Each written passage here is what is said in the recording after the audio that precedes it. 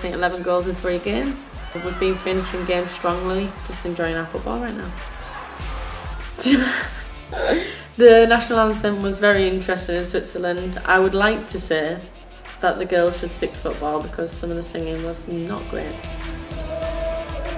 There wasn't any music, there was just literally the lady who sang. So the vocals were not great and as you know the national anthem can go quite high but some of our voices cannot. But normally we're drowned out by music. Can go quite high but some of our voices cannot. But normally we're drowned out by music so that probably says why. I was laughing so hard at Alessia because we were just playing like passing uh, passing drill, passing the ball to each other, moving around and I actually took the ball from Alessia but she thought she still had it so she went to sw swing her foot to kick it and it wasn't even there.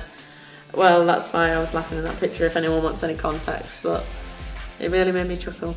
My breakfast routine, um, I'm actually a creature of habit. I actually have the same thing most mornings. I should mix it up probably. But um, I have an omelette.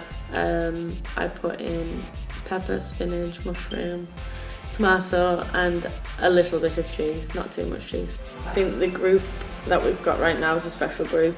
The togetherness that we've got in this team, the competitiveness, the willing to back each other in any situation is second to none. And incredible memories of 2019.